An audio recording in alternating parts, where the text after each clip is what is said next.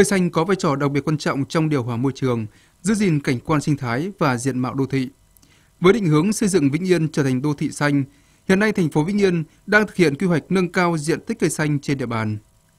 Theo đánh giá năm 2010, trên địa bàn thành phố Vĩnh Yên mới có gần 47,34 hecta diện tích cây xanh đô thị,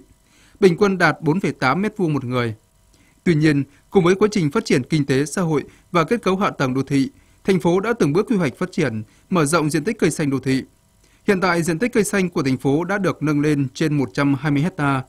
Hệ thống cây xanh của thành phố chủ yếu được trồng dọc theo các tuyến đường giao thông, các công sở, ven các hồ, đầm và tại khu vực vườn hoa công viên quảng trường tỉnh.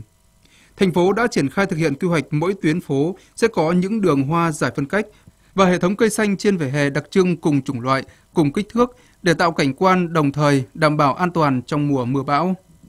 Đến nay, trên địa bàn thành phố Vĩnh Yên, công viên quảng trường tỉnh và các tuyến đường như đường Hai Bà Trưng, Nguyễn Trãi, đường Trần Phú, đường Kim Ngọc, đường Vành Đai, Nguyễn Tất Thành đã thực sự trở thành điểm nhấn của một đô thị Vĩnh Yên xanh, sạch, đẹp với hệ thống đường hoa phân cách kiểu bùn va và cây xanh đặc trưng.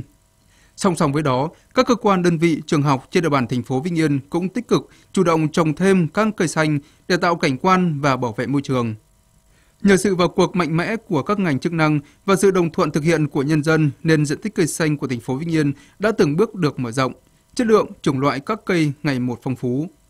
Trên cơ sở những kết quả đạt được, thành phố Vĩnh Yên tiếp tục mở rộng diện tích cây xanh và nâng dần tỷ lệ diện tích cây xanh đô thị trên địa bàn.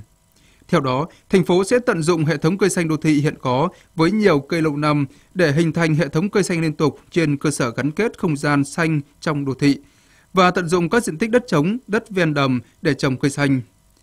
Phấn đấu đến năm 2020, tỷ lệ đất cây xanh che phủ của thành phố đạt 23% tổng diện tích đất đô thị và diện tích đất cây xanh công cộng đạt trên 340 ha, đạt chỉ tiêu từ 22 đến 24 m2 một người để Vĩnh Yên thực sự là đô thị xanh phát triển bền vững.